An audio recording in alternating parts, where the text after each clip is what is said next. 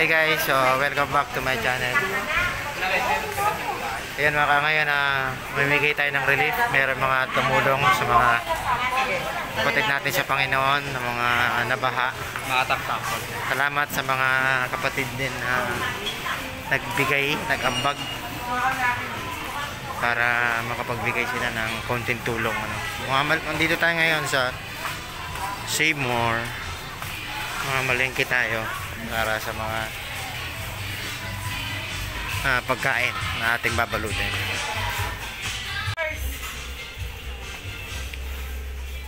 Hey guys, uh, welcome back to my channel Cholo TV. Ngayon ay magmamalingki tayo. Ngayon sila. Uh, mamimigay po tayo ng relief.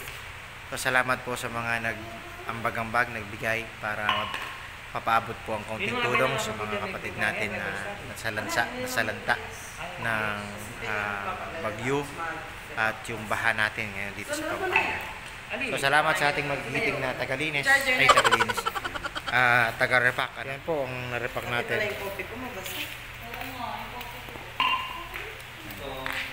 So meron pa tayo dito ng re-repack. Ito, actually nabasa sila kasi malaki po ang tubig. Yan. Mga nagre-repack po sila ngayon. Ito po. Ito mga kasama natin ngayon na nagre-repack ng ah, pang-relief po natin. So, may kasama pa tayo si baby ang sipag oh. Oh, ang sipag ng bata oh. Oo, oh, yun oh, lililis yun. Paano masabi? Ito po yung ano, ah, mga na-repack natin na 150 families. So, yan. Eh, pasit canton, kopi ko. Yan, Lucky Me, baka naman. Pure gold, yan, yan lang. Alright. Hey guys, welcome back to my channel. Ito po, tapos na tayo. Yan, kabay muna kayo dyan, mga magigiting na nagatakan natin. Yan. So yung mga sila yung mga nag-repack kanina, ayan, kasama natin sila ayan. So natapos din kami nasa tatlong oras. Then salamat sa mga magigiting na nag-repack ng ano ng ang tawag dito, mga relief natin, pamimigay natin sa mga nasalanta ng bagyo nakaraan tsaka yung mga baha ngayon. Ito yung mga narepack natin, yan.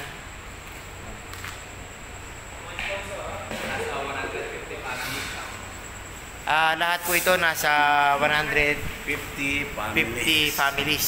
So, ayan po si ate, siya, Kuya Peter. Siya po ang nagiging nangunguna sa atin sa...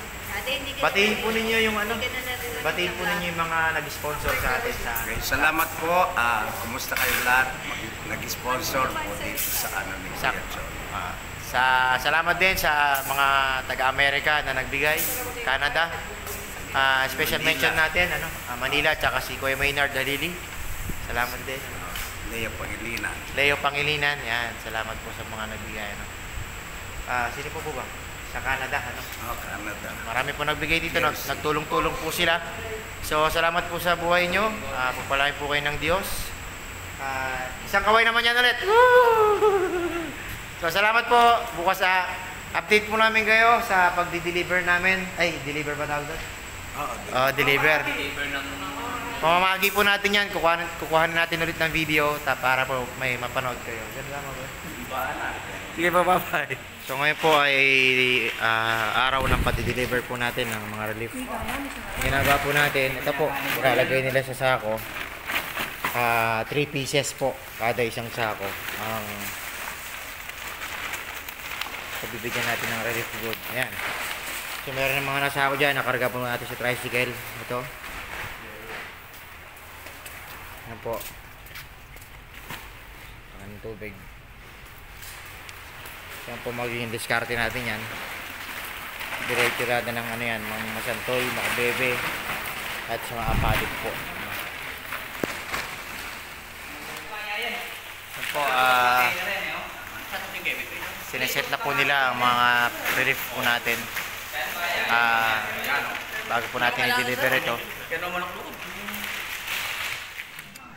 Hello, ah ngayon po, andito na tayo sa Masantol para mag-deliver ng relief goods. So, nandun na yung ibang kasamahan natin. Ah, dinala nila yung ilang sako na relief. At mamaya-maya, yung ibang mga relief good ay ah, i-deliver naman natin sa ibang ah, lugar dito sa Masantol. Tapos punta tayo ng Makabebe.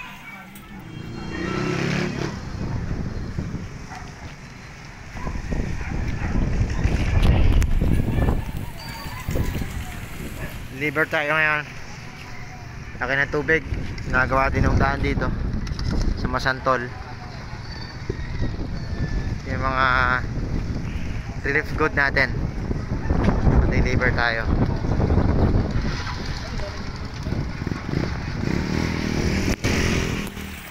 Deliver po tayo ngayon ng ano, relief natin. Dito tayo sa Masantol. Mga tubig.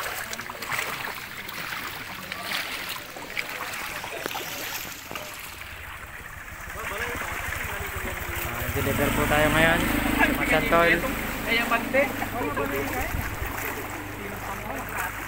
Hello, Charity. Ito na kami kami nga Yan po ang Masantol ngayon. Ang ating pong pinagdideliveran ng ah, relief good.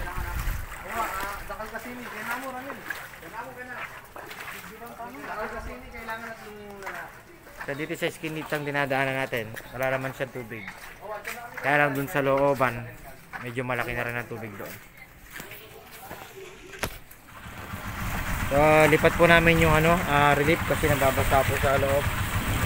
Lipat po namin dito sa Basan, no? Kaya basan. sa mataas na ano. Sobrang baba po ng ating service. Gagawin po natin, tinanggal po natin dito sa tricycle na baba. Lipat natin dito sa mataas na ano. Para hindi pumapasa kasi malaki po ang tubig eh. Ito po ang malaki. What's up? Pero sa part po na to medyo mababaw pero doon malalim.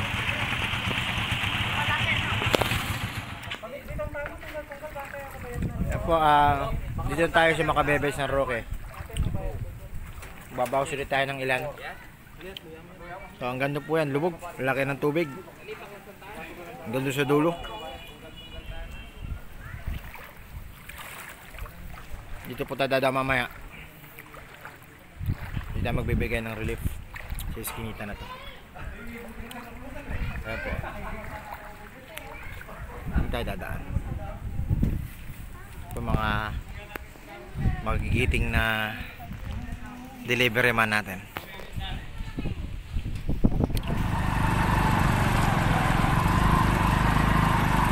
Okay, San Gabriel pa rin po tayo. Ah, magkwento lang po tayo ng konti. Ano, alas 12 po kami umalis ng Apalit kanina. Umikot po kami dun sa Dike kanina pero sobrang ah, laki po ng tubig dun sa San Isidro nung dinaanan namin. Umabot po sa ilalim ng tangke ng mga motor. Kaya naisipan po namin dumiretso na lang dito sa San Gabriel pero parang ganoon din po yung tubig, ano? Yan. So, ang oras po ay nasa alas 4.18. So, nasa apat na oras mahigit na po tayo na nakapag ah, hatid ano, ng ating mga relief. Yan, tingnan po ninyo, yung tubig ay lubog na ang mga tambucho at malapit na po sa ilalim ng upuan.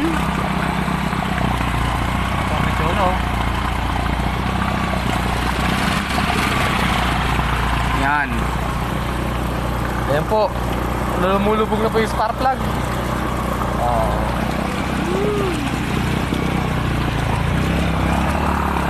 Malapit po sa ilalim ng tangkiyan.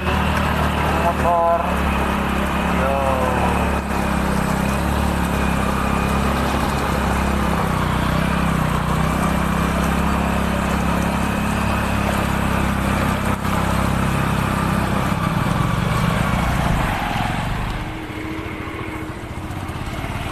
Para may pailupa.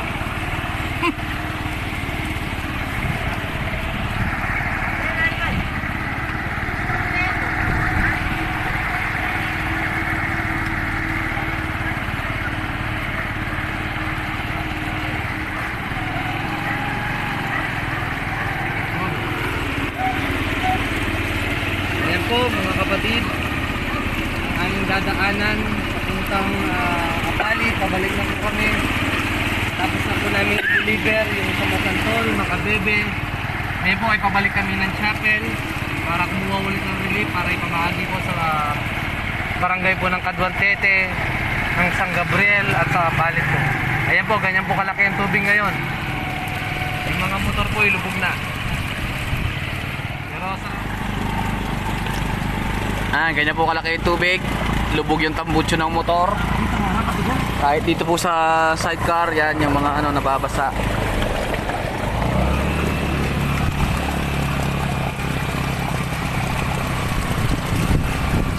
Ganyan po kalaki yung tubig. Kapaabot po namin yung blessing ng Panginoon sa ating mga kapatiran.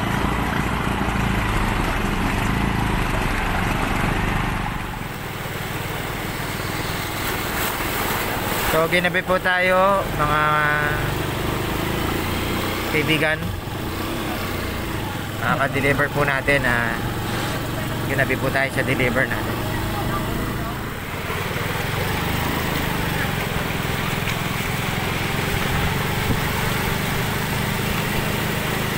Sobrang laki ng tubig.